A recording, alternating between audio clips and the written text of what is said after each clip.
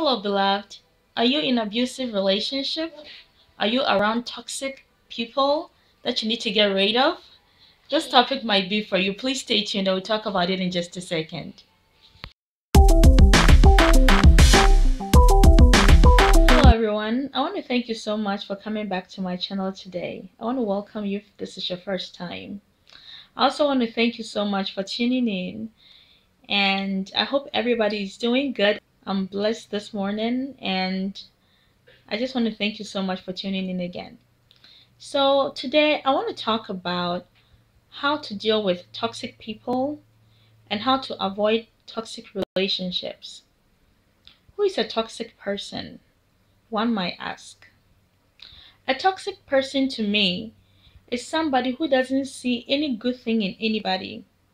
When they when they open their mouth, it's either they are insulting you, they are saying hurtful things, demeaning things, bringing you down.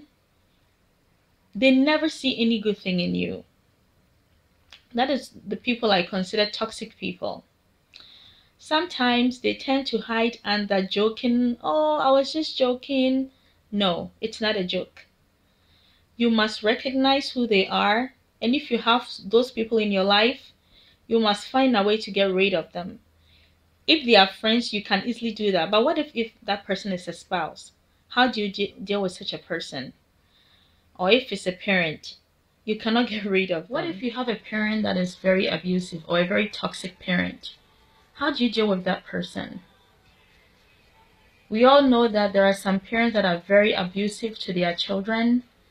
They don't know how to encourage them every little thing they do, they'll find something bad to say about it. And that makes the child feels very, very insecure, very, very ashamed of themselves.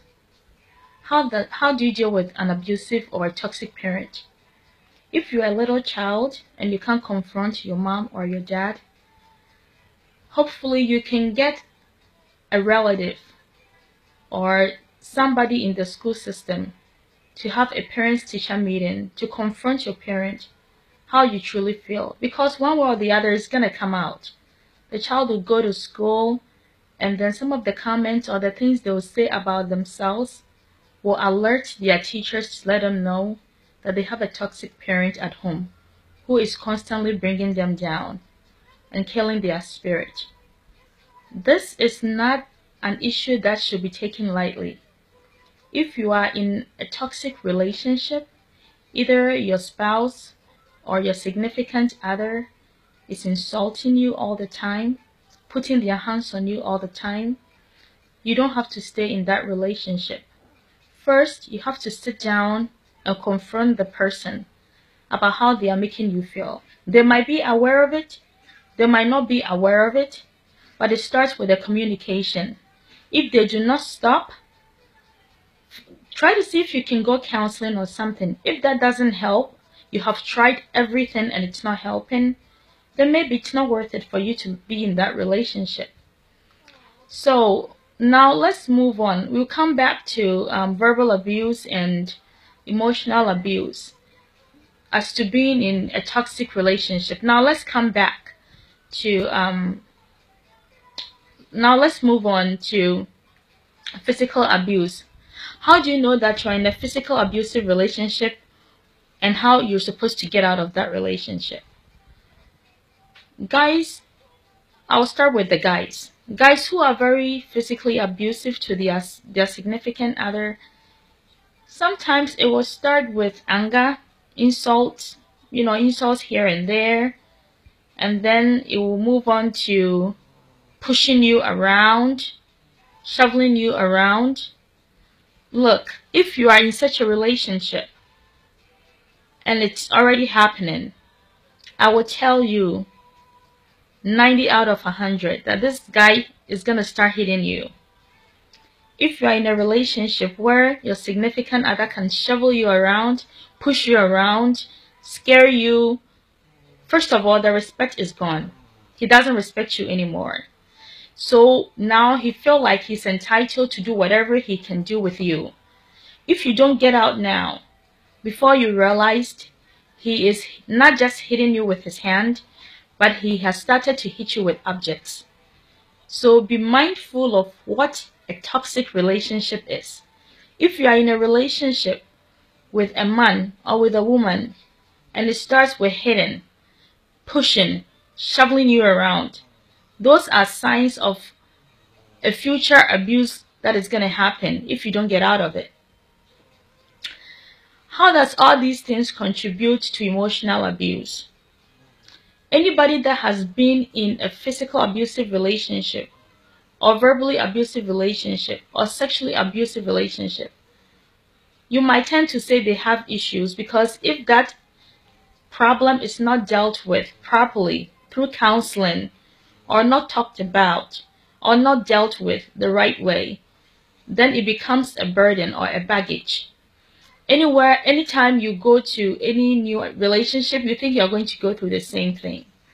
So if you have been through that relationship, make sure that you seek professional help. Try counseling. Try to talk to people, people that really have your best interest at heart.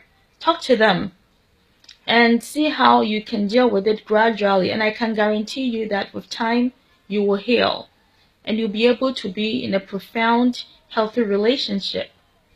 But if you are in an abusive relationship and you are in a relationship with maybe your spouse, I'm not going to advise you to break your marriage, but seek counseling. Sit down and talk to that individual. However, after so many effort, if that doesn't help, then you might want to consider maybe separating yourself from that individual.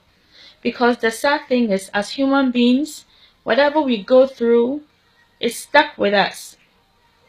It's very, very difficult for you to go through an abusive relationship and just get out of it and be okay as if everything is normal again.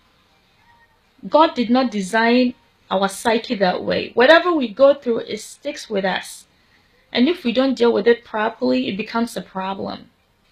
So if you are listening to me today and you are in a relationship with anybody, whether it's a parent, a spouse, a boyfriend girlfriend relationship, whatever, and the person is always bringing your spirit down, always telling you how fat that you are, how too skinny that you are, you never seem to be perfect for them.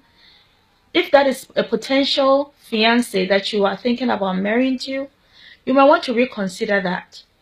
If that is just a mere friendship you are having with somebody, you might want to reconsider that friendship. If that is a spouse, you might want to sit the spouse down and talk to them and go to counseling.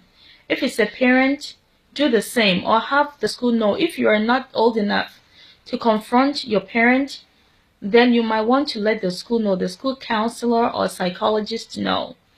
If you are old enough, you have to sit that parent down and tell them, look, mom or dad, I cannot tolerate any more of your insult and always putting my spirit down. So please, you need to stop doing this to me. It's not helping my self-image. It's not helping me at all. Sit down and talk to them. If that doesn't help, then you can find other alternatives as to maybe letting the school authority know or maybe separating yourself a little bit from that parent. Because putting somebody down is not the right way to have a good relationship with anybody. So this is a very vague topic that we cannot finish it all today. It's something we'll continue some other time, but to, for today I'll end here. I hope this topic was helpful to you if you were listening to me. Um, thank you so much for staying tuned. May God richly bless you and take good care of yourself. We'll continue some other time. If you have any comments, do not be hesitant to leave them down below for me. More than happy to get back to you as soon as possible, okay? Life without Jesus Christ is lifeless. Stay blessed. I love you all. Bye-bye.